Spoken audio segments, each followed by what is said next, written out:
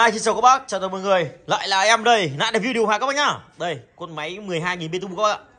Full tính năng Hiệu Latiola Latiolaso Đấy các bác nhá. Máy 12.000, full tính năng, lưng nia rộn ràng Đây các bác nhá. Nó có mã là 28GX Đây, 28GX điện 100V Nặng 12,5 cân. 880W các bác. Điện 100V 50 60 Hz Đấy, có thần số của nó các bác nhá đây. Mặt lạnh cũng vậy luôn. 28 giờ GX điện 100V 1,13 kg ga 410 nặng 34 cân. Ga 410 các bác nhá. Nặng 34 cân. Đấy. Máy 12 BTU giải quyết phòng 15 mét vuông đổ về. Con này thì cứ gọi là đắp chăn luôn. Các bác nhá. Đấy máy 12 chạy cũng đẳng cấp luôn các bạn. Đây bên trong dàn đây đây. Đây các bạn nó là inverter gì đấy. Đây, các bác nhá. Nói chung cũng khá là đẹp đấy. Lưới nước này. Sạch ron đấy lưới nước sạch ron đây, các bác thấy chưa? Lưới nước này. Sạch ron luôn. Đẹp lung linh luôn, các bác nhá. Đó, máy 12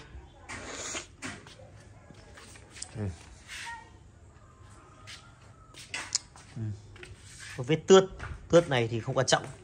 Vuốt được không vuốt được. Rồi các bác nhá. Máy 12 trầu bò luôn. Cục nóng này nặng bao nhiêu cân nhỉ? Để em xem lại.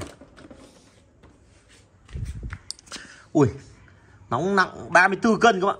Nặng 34 cân. Nói chung cũng khá là nặng đấy đây, máy 12 các bác nhá. Con này test chạy ok. Các bác nhá, test chạy ok ga cộ đầy đủ điện đóm ok. Các bác về chỉ việc nắp thôi. Bao cho bác này. Giá trong mặt lạnh này. Cục đổi nguồn này từ 220 mà xuống 100V này. À, điều khiển này. Điều khiển zin bản luôn các bác nhá. Điều khiển cho các bác luôn điều khiển zin bản hiệu Latiola luôn. Đấy.